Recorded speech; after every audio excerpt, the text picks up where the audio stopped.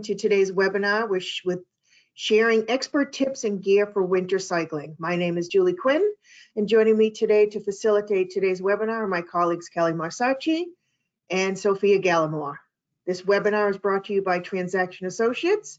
We are a full-service transportation company managing TMAs, assisting clients with commuting options, commuter benefits, and promoting green commutes. Hard to believe we are in November, and with that comes colder weather, usually.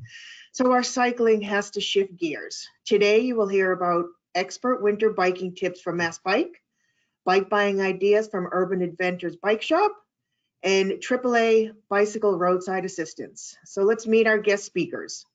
First, we have Galen Mook, who is the Executive Director of MassBike, your statewide bicycle advocacy organization. Though he works on a lot of broad issues such as policies, legislation, funding concerns, education, and more, Galen's especially enjoys working on breaking down barriers to biking while encouraging people to bike more. Jeff Tam is from Urban AdvenTours, Boston Cycling Outfitters, offering, offering bike tours, rentals, and a full-service bike shop. Jeff loves her riding bikes, started at a very young age, and having worked for a bike share company in Los Angeles, California, Jeff is determined to get more people onto bikes. And we have Ron Esposito from AAA. He's a retired lieutenant of the Union County Police Department located in Westfield, New Jersey.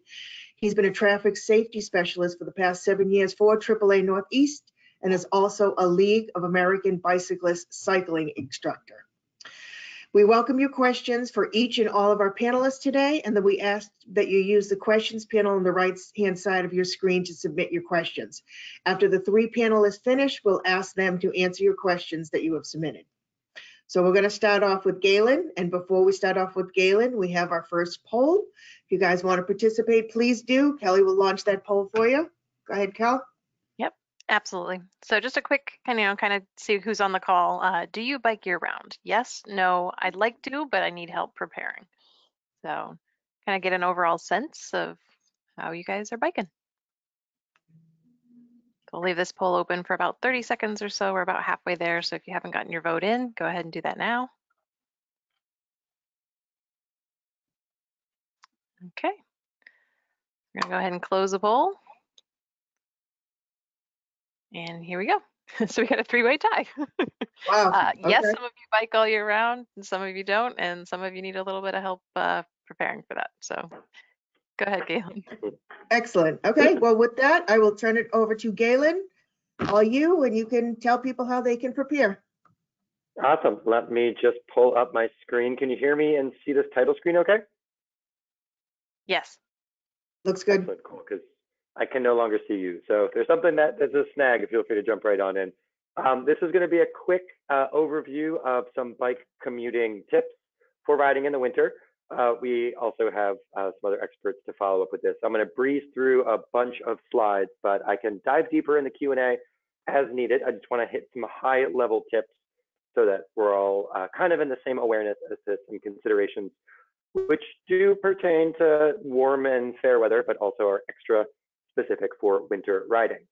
Um, first off, just encouraging you to ride in the winter and to think about, even if there's a little bit of snow on the ground, there are plenty of ways that you can modify your ride, your bike, your route to still go riding. And some of the most beautiful time to ride, as long as you're equipped, is going out and riding out there in the snow. Highly encourage it. And for those of you who were around last week and actually got the four or five inches in the Boston area, um, you'll have to understand, even though it's 65 degrees outside today, um, it's coming fast. Um, why are we going by bike? Um, actually, this is the slide I wanted to get to. Um, there's three barriers to focus on that I want you to keep in mind for overcoming um, the limitations to riding in the winter. Basically, it's darkness, which can be overcome by reflectivity and lighting up your bike. Uh, temperature, which can be overcome by layering system and understanding how your body's metabolism works and having a proper plan for layers to either disrobe or add layers as needed. And then ice and snow. And ice and snow is a big barrier in terms of how uh, much traction you have when you're out there, what routes you're going to choose to ride on. And uh, I also want to throw in this Calvin and Hobbes clip because I'm a big fan of Calvin and Hobbes, and uh, I always appreciated that the dad was an avid cyclist who always did made fun of by the family. So just to keep in mind that uh, though there are some barriers to overcome, it's still completely possible to go out and ride, no problem. I'm gonna touch briefly on the bikes, but I know that Jeff from Urban AdvenTours will go into more detail. But just so you understand that there's a different variety of bikes uh, that can be modified for the winter, it's a spectrum. But I'll just so we're on a similar terminology. Commuter bikes are typically the same upright bikes that you see people riding around the city. Good for going just a few miles, nothing too intensive. They're heavier, but that means that they're equipped for fenders or racks or carrying capacity, made for short trips. Um, you could do road biking in the winter. Uh, just keep in mind that the traction might be a little iffy if you have snow and ice out there, but these are made for longer distance. They're lighter weight bikes, uh, different body geometry. You'll see that the rider is more hunched over. The same considerations for fair weather to winter riding for road biking. Um, mountain bikes are kind of a great tool for pivoting your bike and modifying your bike to suit winter conditions, which again, Jeff will touch briefly on, um, and I'll talk about this bike shortly, but this is actually Sheldon Brown's personal bike. He was kind of the bike repair, bike maintenance guru from West Newton who has this trove of bike mechanic tips. Um, and we'll talk about Sheldon's bike in a second. Um, but there are certain modifications that he did to make his mountain bike snow specific. Uh, folding bikes are also great options because you can be multimodal with them. You can take them on the green line, you can take them on a bus. You know, if you're wearing your winter gear, that's great. But then, you know, if you want to put the folding bike in the trunk of a car um, or just want to do a one-way trip, folding bikes, um, there's no limitations as to how you can take them on the trains or buses. It just makes that much more, uh, that makes being multimodal that much more accessible. Uh, fat tire bikes are also a relatively new development in the biking industry, but these are hugely popular. They're really fun to ride regardless of the condition. But these actually ride on top of the snow and ice more so than dig into the snow and ice. And they have such wide tires that they have good traction out there. So they're good for mountain biking, but they're also good, and they're good for riding on sand if you want to go to the beach, but they're also really great for riding in the snow just the same. Um, and some considerations about what you might want to do in order to make your bike a little bit more winter friendly. This is a very dense slide. I'm not going to get into everything, but the big things you might want to think about modifying and converting your bike into a wet weather bike, we call it, or basically a winter bike. You might want to think about getting wider tires as much as your wheels can withstand, so they have knobs on them. You might want to think about getting fenders to keep the snow and salt from getting splashed around. Um, you might want to think about getting different pedals that modify, uh, that can be modified for your boots. So maybe broader pedals so that if you're riding in snow boots, galoshes or other rain gear that you'll have traction um, from your feet. And then if you want to think about, you know, getting studded tires, you can actually get tires that like car drivers have with little studs in it. Um, you can also get bikes that are disc brakes and different modifications. But um, one thing I'll bring back to this bike, a couple of things that I like about Sheldon Brown's bike. Um, one is that he modified the bike to make it a single speed, which means that there's the whole gear system in the rear has been taken off and it's just one gear.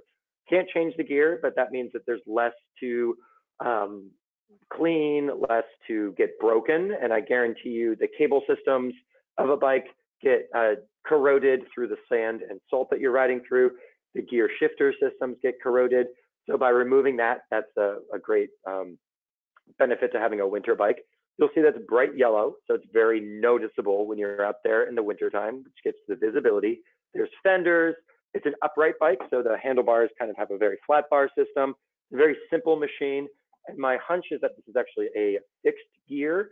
That means that he can actually brake when he's riding by pedaling backwards, which um, will in an attempt to stop the rear wheel. There's a lot that we can talk about about modifying a bike, but just want to throw this one out here as a good example. Um, which if there are questions about it, I'm sure Jeff will answer, and we could also touch on the Q&A.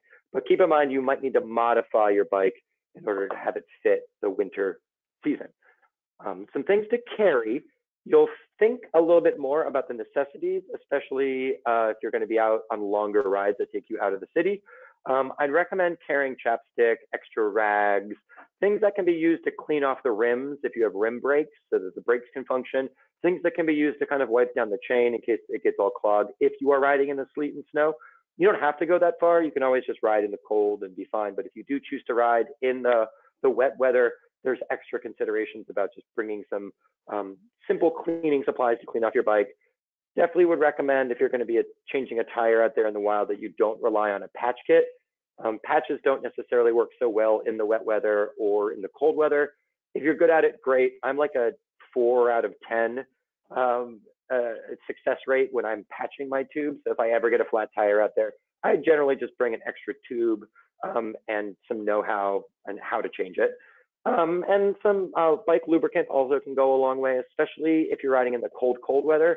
Um, if there's any water in the cabling system or there's uh, like a, a, hitch in the shifting, a little bit of chain lubrication um, on those components will actually go a long, long way.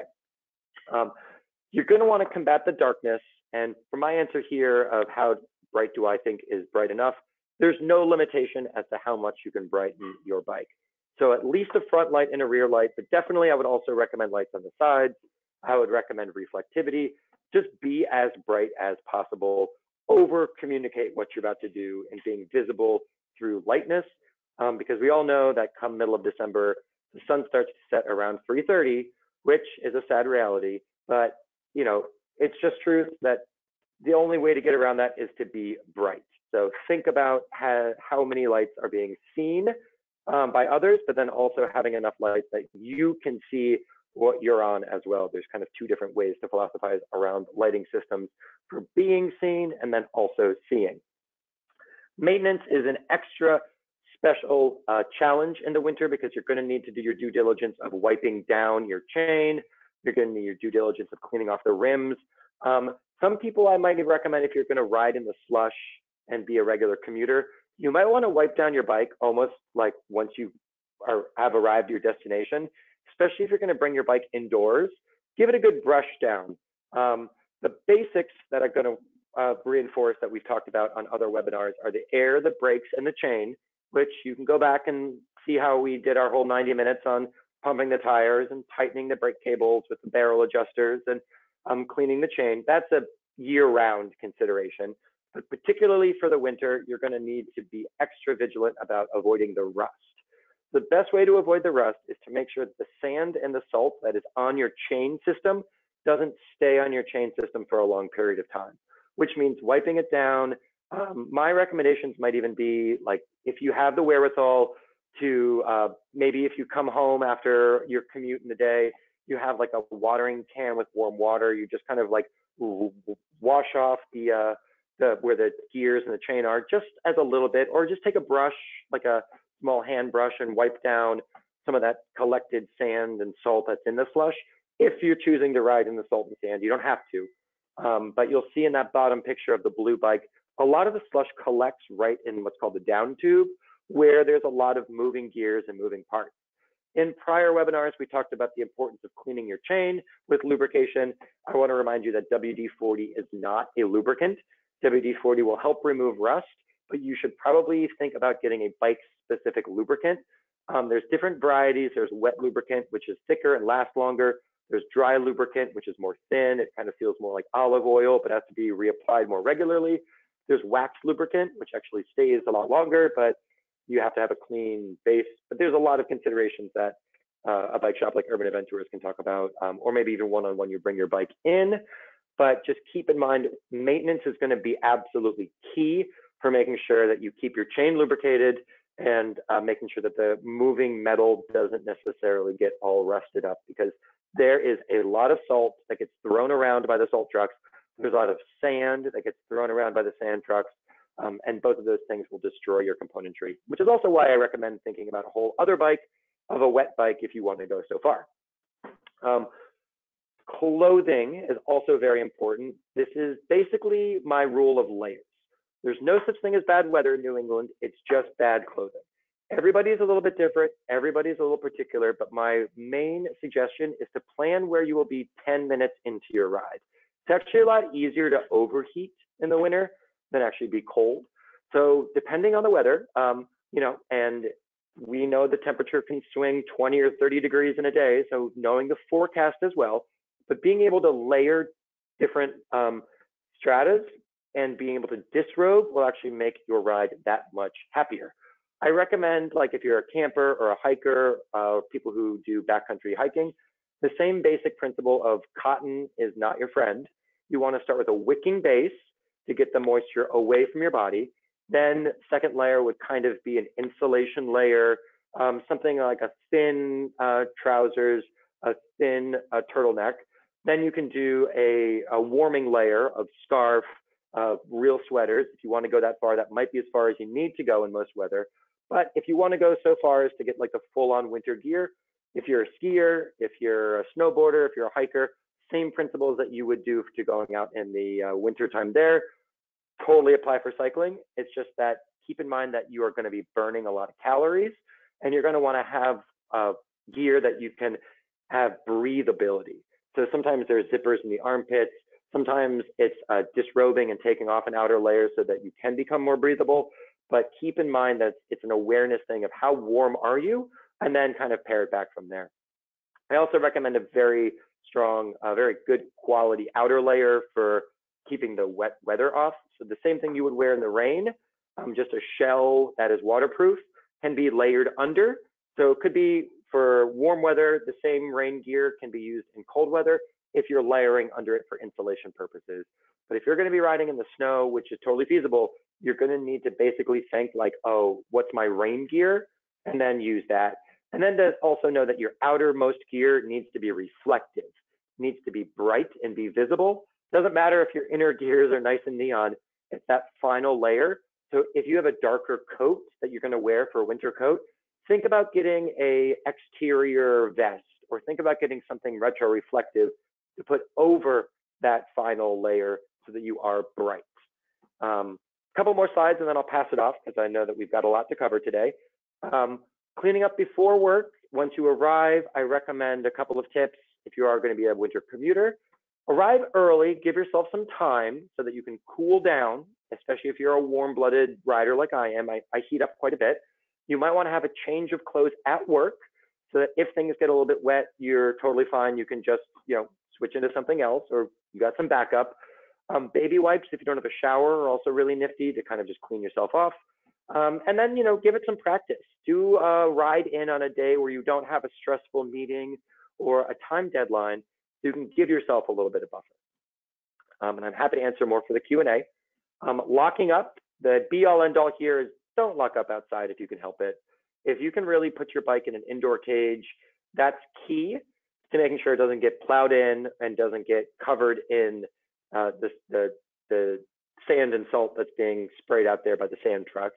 And keep in mind that your normal bike parking might disappear a little bit in the winter time as well, based off the snowbank situation. Um, we talked about multimodal commuting a little bit with the folding bikes, but think about combining your trips with the MBTA. Happy to answer some more questions on that. Uh, you can go to mbta.com slash bikes if you have any questions about how to integrate your trips. And I also know that TransAction runs a bunch of shuttle services. I don't know if they have bike capacity, but that's something to check in on and do a little bit of advanced research. But being multimodal is a key way to making sure that if the weather changes on you, you have a backup plan. And I'm sure that Sophia can talk a little bit about the benefits that the TMA provides in terms of a ride home and some other uh, considerations for you. Um, and then my last couple slides, a little bit about technique. Your technique will change when you're biking. I'm going to hold off on going too deep into this unless there's a real Q&A around it. But my real um, tip for you is practice.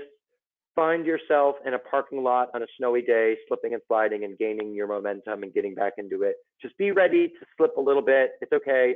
If we were in person, I would ask everybody who has slipped in the wintertime walking to raise your hand.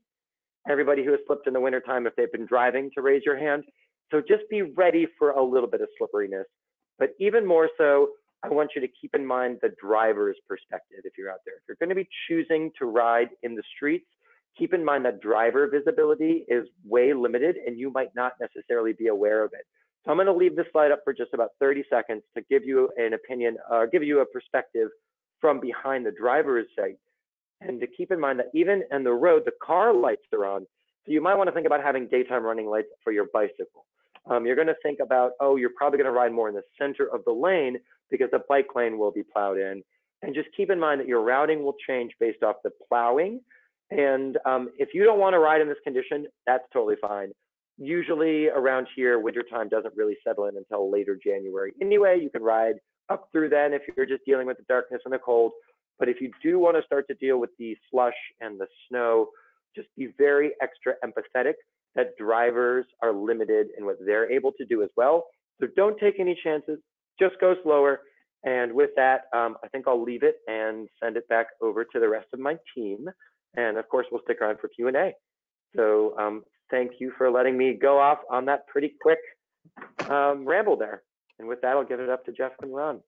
You did excellent. Thank you, Galen. Thank you. That's, I, I know it's a lot to cover for winter biking. There's so many things that you could do, need.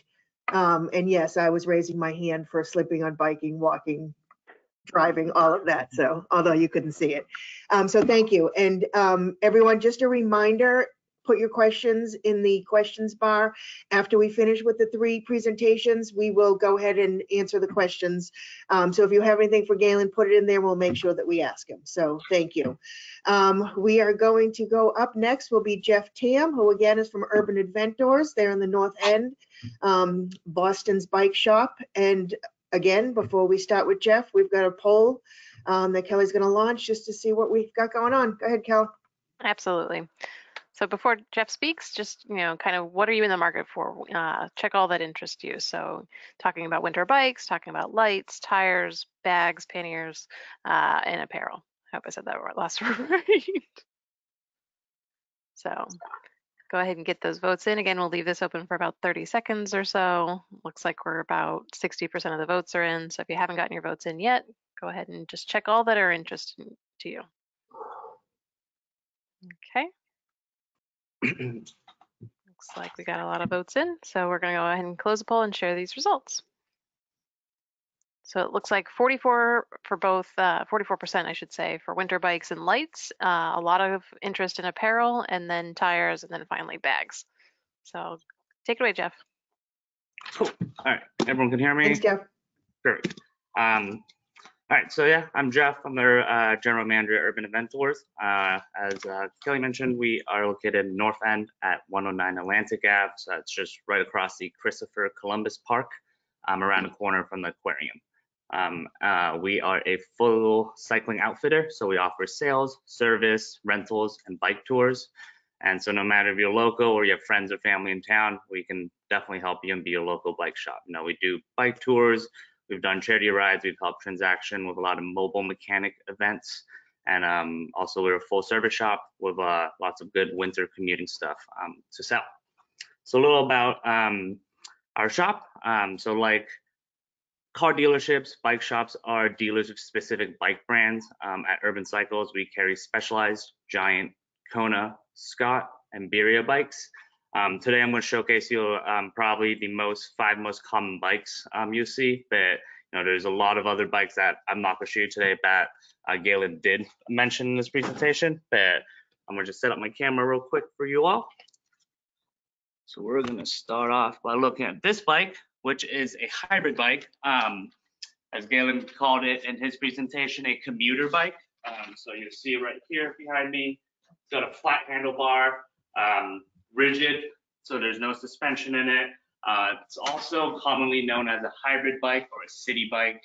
Um, these bikes are probably the most common bikes you see around. Um, they're versatile, they are relaxed, comfortable riding, and they have a lot of um, support for fenders that you see on this bike, the green fenders. You have some on the back, and then you can also add racks onto this bike. So as um, Galen mentioned uh, there's a lot of winter commuting options with fenders that help keep the slush off your uh, back, keep you clean. Um, you can get fenders to attach a basket to it, or you can put panniers on it so you can keep the weight off your back and keep it on your bike. Um, but the hybrid bike is probably the most common bike um, you will see around on the streets. So let me just get that up real quick.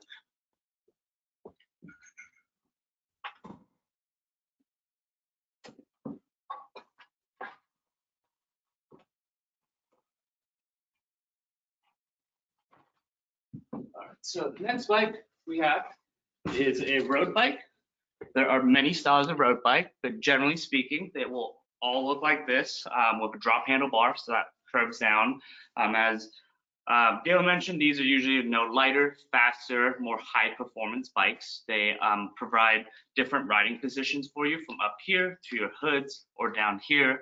So on those long rides, you can switch up your riding position and have less pressure, uh, stress on your back. So these bikes, you know, they are usually higher end, cost a little more, um, but no, there is a lot of different road bikes in the sense of there's gravel bikes, cross bikes. So there's just as many on-road road bikes as there are off-road road bikes. Um, but this is one from my coworker. As you see, um, he has been riding through the winter, especially last week. There's lots of grime on it, lots of dirt.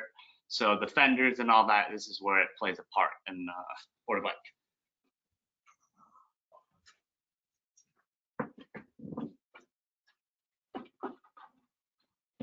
Next type of bike I'm going to talk about is a mountain bike. So this bike right here, as you see, um, is a full suspension mountain bike. This is probably a common bike that most of all of us grew up riding as a kid. You know, uh, mountain bikes were very popular um, in the past, in the 80s, 90s, where you just see one suspension in the front and usually a rigid frame in the back. So old school like Gary Fishers, you know, Diamondbacks and all those. Um, usually in the past, they've always just kind of uh, man, uh, produced mountain bikes. Uh, hybrid bikes have been more of a thing in recent years. Um, but this is a uh, full suspension mountain bike. So you see uh, rear shock here, front shock here, wide tires, but mainly a bike that's uh, designed to perform in the off roads. So, you know, it can be ridden in the snow a little, but mainly more for dirt in the woods and the forest and all that stuff.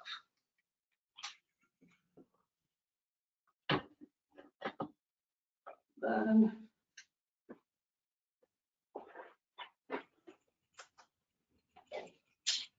looking forward to talk about these bikes. So this is a electric bike. Um, it's pretty sleek. They are heavy, probably 30 plus pounds. Got a battery hidden in here. But the idea um, of these bikes are that um, they just give you a little more power, a little more distance in your riding. And for people who are a little more physically um, in, like who have some physical restraints, these bikes will really help you out. So, you know, the pedal assist bike will help you get up hills, fight the wind. And uh, this is the type of bike that has been on the rise the past like three to five years. A very recent technology, um, but usually when you're riding electric bikes, um, you know, a lot of elderly like to use them or people with 30 commutes of you know 10 plus miles. Electric bikes um, come in very uh, handy.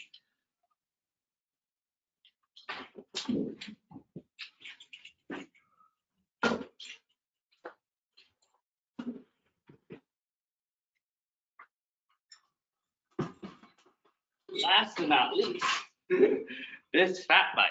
So Galen showed a picture of it.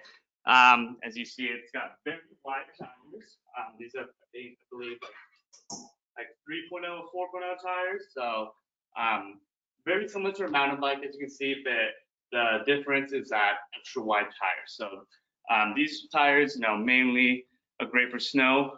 Riding on the sand is also um, will perform well on that. Um, but they're a lot slower, but very comfortable. So uh, Galen did mention that you know this is a snow snow bike or so, but there's really two spots of uh, riding in the winter. So you can go wider tires, which allow you to ride over snow, um, providing more comfort, more handling. Um, but you, there's also another school of thought where you ride skinny tires where it drives into the snow. So like skinny tires, like a 23 millimeter or like a road bike tire. People, you know, I personally, when I first moved here from California, I was a little freaked out by riding skinny tires, but now I've learned, you know, just a different school of thought and it works just as well. Um, with snow, skinny or wide, it's both fine. It's really your riding uh, ability and style and just you gotta be extra careful. But when it comes to ice, um, neither tire is gonna perform like well at that. Ice is something that you just gotta be on the lookout and just um, be careful about.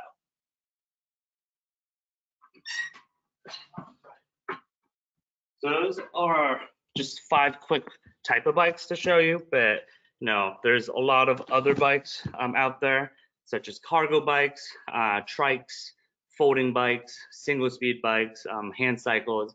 All of these are different bikes types. Um, and no, every bike for every person is different. Um, it really just depends your needs from it. Um, last thing I want to touch base on is just the pandemic and the bike boom that has caused. So I don't know if you've heard of you've gone to a bike shop recently, but there has been a bike shortage and part shortage in our industry. Um, because of the bike boom, a lot of people don't want to take the public transportation anymore. And also a lot of people don't have gym access, so they're trying to exercise on a bike. So since about March to April and the bike industry in our shop, we've literally sold out of every single bike. Um, every like I'd say entry level bike, sub thousand to two thousand dollar bikes have been sold. So right now, um, mixed with the supply chain issue um, in China and all that, all that, um, a lot of our vendors are even having issues um, manufacturing all these products for us to sell. So um, my biggest uh, tip for if you're looking for bikes or products and all that is to be patient. Um, find the right bike for yourself. Don't rush into it. But realistically speaking, probably the shortage in bike parts and um, bikes will last about until at least spring 2021. So if you're in the market for a bike right now, um, you will have limited options, but like I said, just be patient. Um, there's definitely a bike out there for you and just don't rush into anything. Um, I'll probably save more of the questions on uh, for later during Q&A, but that is about it for me. All right. Wonderful, Jeff. Thank you. Thank you, Jeff. That was awesome. Um, we do have a couple of audience questions that have come in, but we'll wait till the end and we'll, um, ask you to answer those. Those are great. Um, it's amazing, um, the amount of bikes that are actually out there that you can buy. And I do know that there's been a shortage, um, because everyone wants to ride, um, which is a good thing for us, um, for those of us who love biking. Um, so now we're going to go to Ron Esposito, who's from AAA. Um, and not to be left out before Ron's presentation, we have a poll to, for you guys to answer. Um, with that, so Cal? Yep. Easy one. Yep, very easy. Are you a AAA member? Yes or no? So again, we'll leave this open for about 30 seconds. Uh, make sure everyone gets their votes in and then we'll hear from Ron.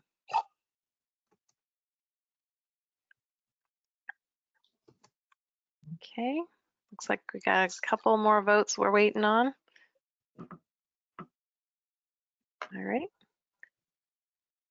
So we're gonna go ahead and close the poll. We got all our votes in. Look at you guys.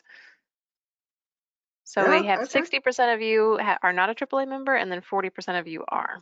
So go ahead, Ron. Okay, There you go, all you. all right, share my screen. And it's not coming up. How Nope, come? it looks great. We can see your presentation. Oh, you can? Yep. I can't see it. so well, that's Uh, not good. that- That's not good. Hold on. Um,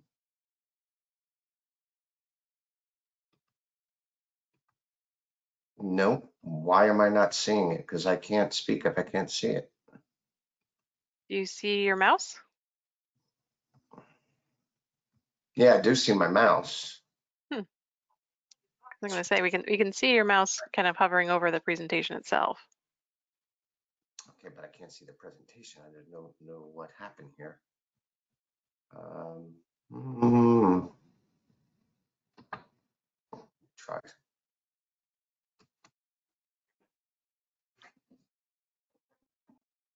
Yep.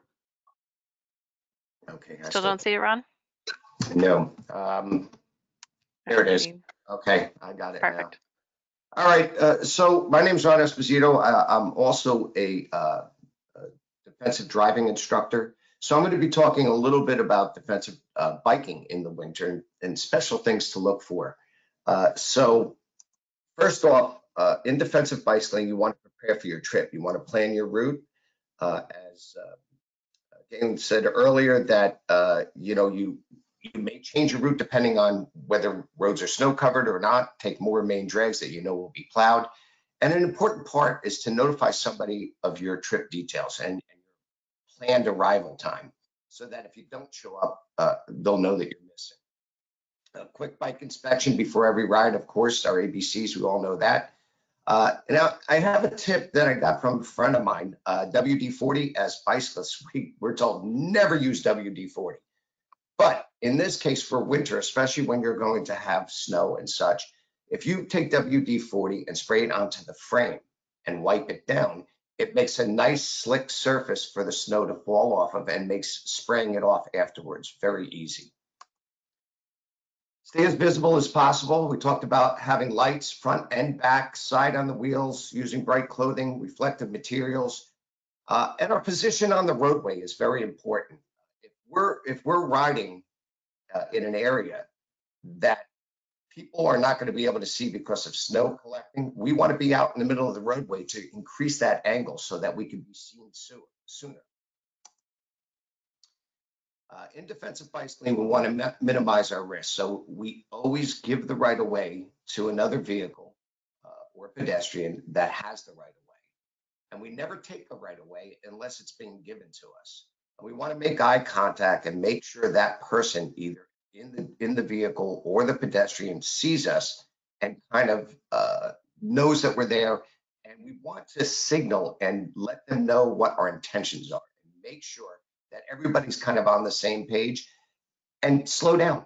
Uh, you know, I, I, also ride a, a motorcycle and I was taught this when I was very, very young. Coming to a green light, I slow down and I look both ways and I don't cross into that green unless I know that I have a freeway through. And the same can be said for bicycle. Road conditions can play a big part in our speed, our position in the roadway, and whether we're actually going to ride or not.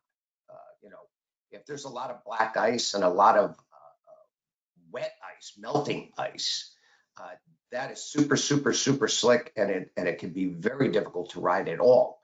Uh, but for the most part, pavement, rain, even snow, uh, not a big problem. Of course, gravel and dirt, and we've all seen the different bikes that that you'd be able to use uh, for those different conditions. Winter speed and positioning. Well, in general, if there is something in the roadway like rain, snow, or sleet, or ice, or any of those things, we are going to slow down quite a bit. Uh, when navigating intersections, we want to make sure that we come out. We have to come out into the roadway and make sure that the people in the intersections or maybe crossing in front of us see us and know that we're coming. If there are snowbanks, we may want to approach, approach those snowbanks, get around them, and maybe even come to a stop before we enter the intersection and make sure that everybody knows that we're entering it. Uh, door zones, which um, we haven't talked about yet today, uh, very, very, very dangerous thing. Uh, people get in and out of their cars without looking all the time. Uh, wintertime does not change that. Uh, the thing is, is that it's going to be darker, so they even have a less chance of seeing you. So we want to stay at least five feet away from any vehicles that are parked on the roadway. And if there are vehicles that are parked in snowbanks that they've dug out a little cubby, we've all seen that. They get their car in that cubby and then they pull it out and put up a garbage can to block it so nobody takes it. Uh, you know, they can pull out of there uh, very, very quickly without seeing you. And um, as uh, was said earlier, you know, we can't make fast, quick, evasive maneuvers because we don't have the traction. So again, move out from the side of the roadway, get out into the middle of the road, take the road. That's what we need to do. Uh, some signs of uh, vehicles that may be pulling onto the roadway. If you see the exhaust fumes coming out of the vehicle when the vehicle's cold, usually those are very, very smoky, very bright. And it could be a clue as to, hey, this guy's going to pull out. So we slow down, take our time, move out to the left. if you're out there and you're having some fun and boom, you get a flat tire and you don't have a tube or you or, or your chain breaks or a myriad of different things and you need uh, some roadside assistance. Uh, I'm not sure if uh, if everybody knows this. If you are a AAA uh, Northeast member, included in your membership is 24-hour roadside service. Uh, you don't have to do anything special. You don't have to sign up for anything. You don't have to click, I want to have bicycle service. It's automatically there. All you would do is call the normal number on the back of your card and you get two free bicycle services per year. Uh, we'll pick you up on any main roadway. We, of course, we're not going to go into trails and that type of thing. You'll have to walk the bike out. Uh, we can transport you and your bicycle up to 10 miles. If you go past the 10 miles for the transportation, there- a mileage curve, uh, uh, a mileage fee will incur. Um, There's a couple uh, uh, restrictions. You have to be a AAA Northeast current member. Uh, If you're AAA member from out of our area, uh, the bike service is not offered. Uh, You must have your ID card. A lot of people have the app and has the ID card on it. Uh, That would be fine, but you have to have some kind of ID on you also, driver's license, uh, or something else to show that you are the person who has the uh, service. Two-wheel bicycles only, um, has to fit on a standard bike rack. No tandem bicycles are allowed. Cannot be used uh, to take a bike from your home to a repair shop. Uh, It must be while you're out riding.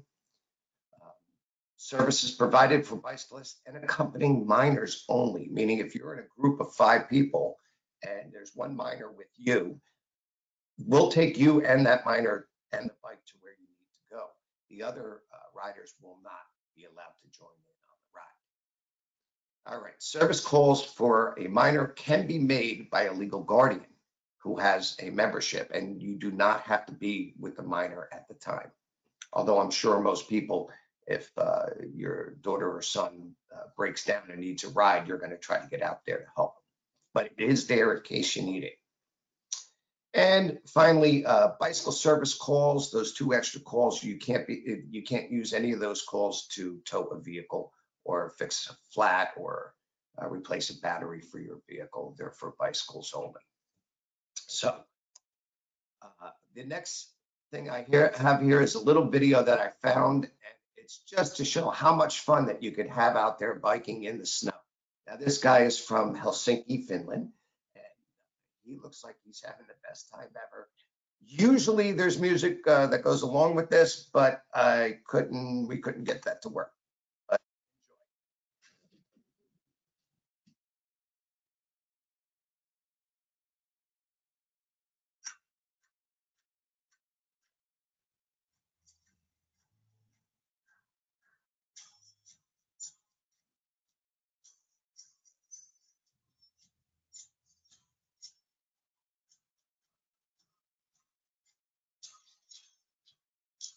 So where did you find this video, Ron? This is on YouTube. Mhm. If you, if you uh, search uh, winter biking in Helsinki, this will be the first one that comes up. Mhm. He looks like he's having a lot of fun.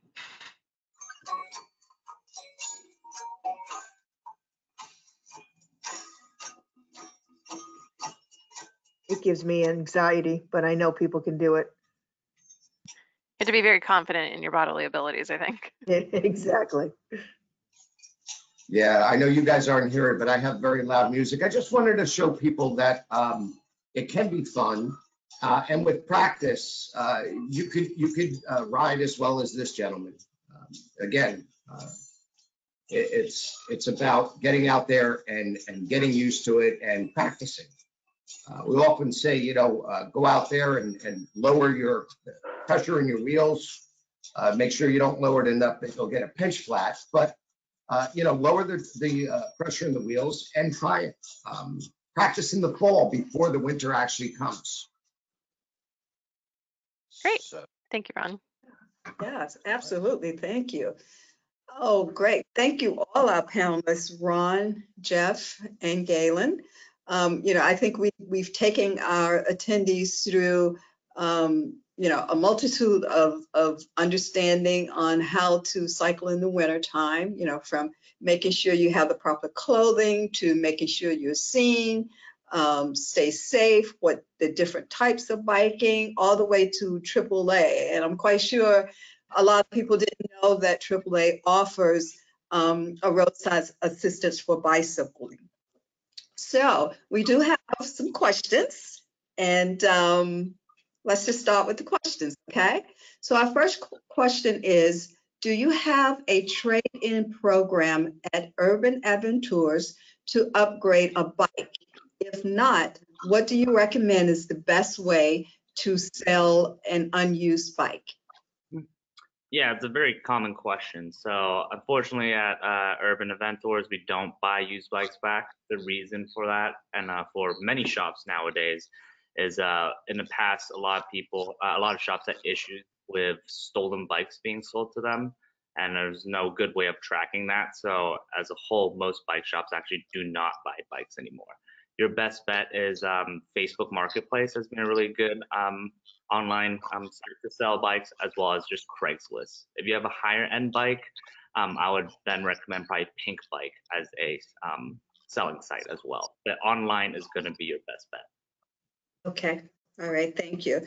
Um, Jeff, I have another question for you. Um, do you carry, I know you talked about um, stock for bikes, you know, is, is very low. So we know that you obviously do carry bikes in stock.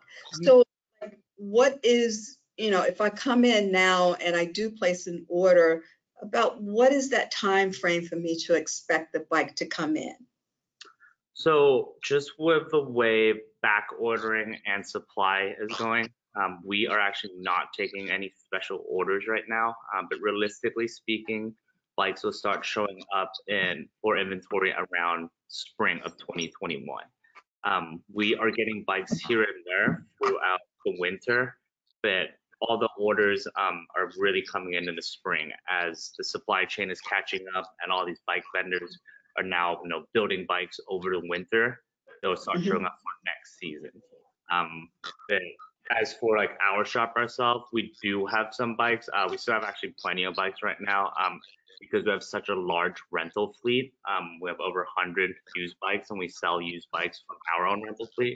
I'm pretty um, certain that we would have a bike for whatever individual and what they're looking for. So Okay. And so if you went out to your website, um, you can purchase a bike on your site. Is that correct? you can look at our bikes on our site, but we don't allow online purchases through our website. Just the issue with shipping and all that. So call for availability. Uh, over the phone, and their bike will come in. Okay. Um, I'm not sure if everyone heard that response. Um, could you just respond to that question one more time, Jeff? Um, so our online website is updated with the bikes we have, but we do not allow um, bikes to be purchased online uh, due to like shipping issues and all that. So if you do have a bike um, in mind you see on our website, just call in for availability, and then you can actually reserve that bike by paying, and then we'll just hold that bike and set it aside for you. Okay, thank you. And one more question for you. What is a good budget for buying a bike for, you know, if I wanted like not spend a lot, but I wanted a good bike? And then what's the basic equipment that I would need for that? bike? Yeah. So generally speaking, um, bikes, I'd say a good level and well-respected bike will be, uh, would start around 500 upwards. You know, we're seeing a lot of online bike, um, bikes companies showing up and a lot of you know, department stores carrying certain bike brands where these bikes, although are cheap initially, like in the hundred to three, four hundred dollar range, we do see these bikes break a lot quicker. Um, the quality of the riding is a lot worse. So um, with these kind of bikes, you know, you save money up front, but you actually spend more money servicing it throughout its lifetime.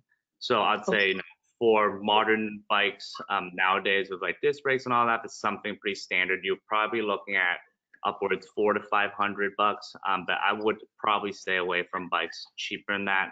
Um, but there's a real serious quality control from like bikes that are being sold online. Um, another issue with those bikes is that lot of those bikes get shipped to you and the quality control is pretty low. So as um, someone who maybe who doesn't know how to assemble a bike, they expect you to do that. And we do see a lot of people uh, build their own bikes and they're putting their forks on backwards, their brakes are on inappropriately, and that's you know very unsafe to ride. So um, you know there's a reason why big brands like Specialized, Giant, um, Trek all work through a dealer and like a retail center, and that is because you know they don't believe the general public has the skills, you know, to build their bikes, and that it should be gone through a professional's hand. Okay, all right, great, thank you. So this next question, you know, Galen or Ron, you can answer that. We really want to know more about how to stay warm. So talk to us a little bit more about, you know, the, the, our attire. I don't know, Ron, you want to jump in there? Well, Gail, you could jump in. I mean, I, I'm a tailgater from way back, so I know how to layer up and I, and I kind of transitioned in hiking using the same techniques, you know? Uh, and you covered it. I, I think you have to get a wicking layer first, uh, then some kind of a thermal, uh, uh, layer, and then a, a wind blocking layer is, is very key, uh, in most of the times. If you're riding a bike, you're doing 10, 15, 20 miles an hour, depending on, on what kind of bike you're riding and what kind of routing you're doing. Um, and then, of course, you need that shell for, for, for outer layer for, for, um, weatherproofing. Um, Galen, anything else you could add to that? I mean, the key is really just layers and not having cotton be the base. So That's- that's wool is great- great. Merino wool is even better if you've got the, the budget for it. Um, you can do liner gloves underneath more substantial gloves. Um, literally, when I leave the house, you know, in this season and in the spring season, I'll probably take three different kinds of gloves with me. I'll have the gloves that I might have for riding gloves, and then I might have some liner gloves, and then I might have some waterproof if I'm actually going to be out in the wet. Um, there's other, it really depends on the person, um, but if you're one who gets cold appendages, maybe you have Raynaud's syndrome or some other um, issues about getting, uh, you know, blood to the end of the capillary system, you might think about bringing hand warmers. So for those of you who are skiers, you might be familiar with like the oxide, uh, oxygenated um, iron packets that then create warmth that are basically heat producers. You can slide under your glove as long as it doesn't change how you can, you know, manipulate the handlebars, the brakes, the shifting, because everything is very important up in the cockpit. So bike specific gear for the gloves, I think is important. Um, then it allows you full mobility. You can even get lobster mitts, which are kind of like the three finger gloves. It's almost like what Teenage Mutant Ninja Turtles were, or, um, but the idea there is they, uh, there's basically three different patterns to the glove or components of the glove and the buddy system keeps your fingers warm. So your fingers actually warm each other, which is also a nice way to do it. So you can do a liner glove and then the lobster mitt glove, and typically that'll get me through those zero degree days. Um, I would recommend bike specific for gloves mainly because of the traction and the grip and to make sure you have full mobility of shifting and braking and steering. So if you're using ski gloves, that might prohibit you from actually manipulating the shifting. So keep in mind that. But everything else, like whatever I would I would recommend for winter, uh, I'd also recommend for rain. It's just the layers that go underneath it to create the warmth. But I do think that um, again, you know, warmth can be very personal. So if you're a, a warm-blooded person who runs more hot, I would actually be more concerned about overheating. And my concern is if you step out of the house on a cold day and you're already warm enough, you're going to overheat into your ride. And that makes it way more uncomfortable because then you have to deal with moisture and sweat and just kind of that whole breakdown of the mind body connection because you're literally, you just, your, your body's kind of freaking out. Um, it's better to start cold and warm up into your clothing and then to know your limits like know that if you've been in new england for several seasons you understand how to get through a winter but if you're moving here like jeff from california you're going to have a learning curve um, so over bundle but then be prepared to disrobe sounds great um, have extra layers in your bag you might not need that's also great um, just you know my main concern is as you layer make sure that you can still do the full mobility of being able to pedal being able to shift, being able to brake, and then um, lastly, make sure that it's reflective and bright enough. Because there is this trend about having dark gear, which I don't know why the bike industry sells black gear anymore. Like you saw the man in Helsinki, he was in all black. Like that's not. That might be good if you're like trying to contrast against the snow, but actually I would prefer something reflective and something that's bright, especially if you're going to be commuting and it's dark you really need to be seen out there. So I know that's not the question. I know the question was around warmth, but if you're going to be out in traffic, that is a consideration that your outer layer needs to be as visible as possible. Okay, all right, thank you. There's also, Warmth and safety, yep. Yeah, there's also a thing called bar mitts. Have you ever seen those? Bar mitts. Uh, for people who, who uh, don't like to have their fingers or dexterity drop down, you could wear a very thin glove and put, and get bar mitts for your bicycle, and they're very accessible. I have seen those. Yeah, yeah, yeah. You Okay, can look them up, just look up bar mitts, and uh, that may be something for each individual. I don't personally use them, but, but uh, I know that a lot of people do. Yeah. okay, all right. So Ron, I do have a question for you regarding AAA. If I don't have a car, can I still, you know, just do a roadside assistance program for the bike? The answer is yes, but it- it's not any cheaper. That's, that's Um, fine. Uh, AAA, with AAA, you get several things, and I'm not a big salesman on that end. I'm more on the safety uh, side. Uh, But it's, it's got some really great uh, perks. It's got um, uh, um, Protect My ID for free, which is like a 60, 70 dollar value. And, Mhm. and that is for the, the membership itself.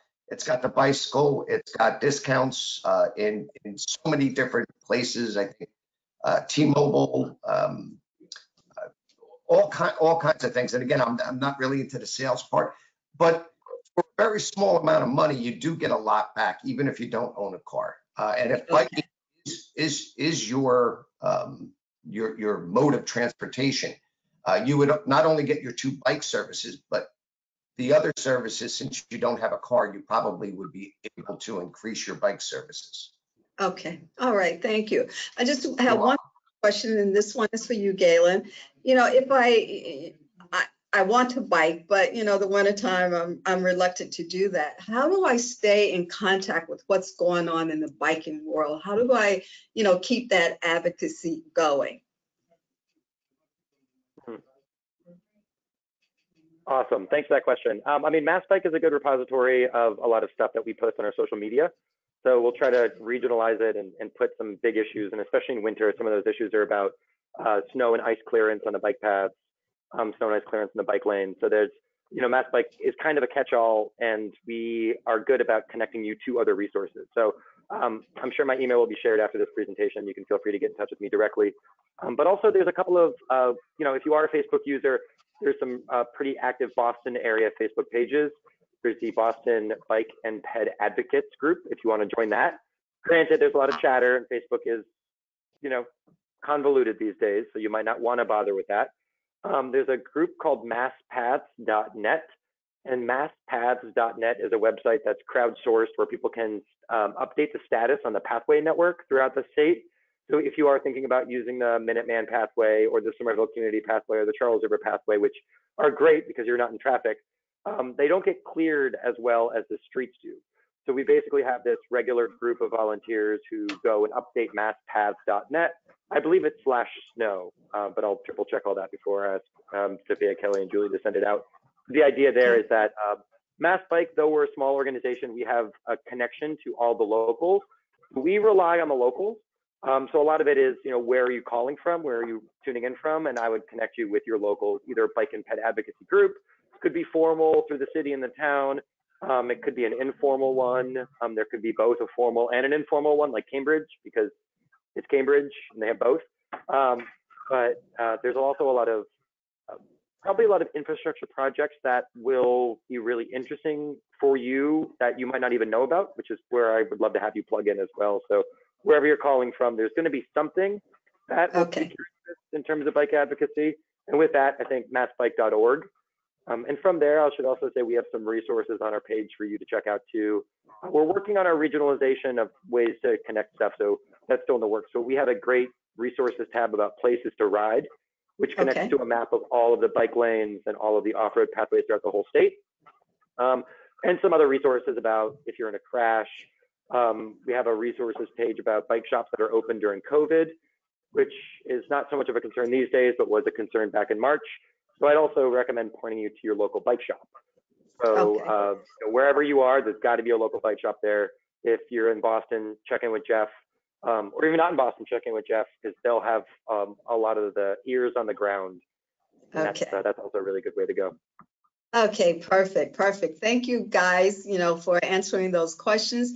You know, I do want to take, do a plug for eCommuter because Galen mentioned that, um, and eCommuter is a way that, you know, it's a resource database for you to go in and find the best bike path, the safest bike path, bike buddy. Um, it, it offers walking. Um, so, you know, I do want to direct the audience to go in and just play around with ecommuter.org and see what's in there for, for you.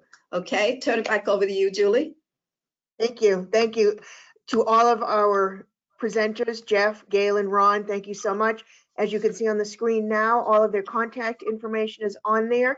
You will also receive an email with the recording and it will also have their, comp- uh, uh, excuse me, contact information on there. So we hope this gave you the confidence to bike when it does snow. Um, the next seven days, definitely get out there and bike because it's going to be beautiful. Um, you'll also have, if you do have questions or comments, please reply to the email that you receive and your commuter services rep will get back in touch with you.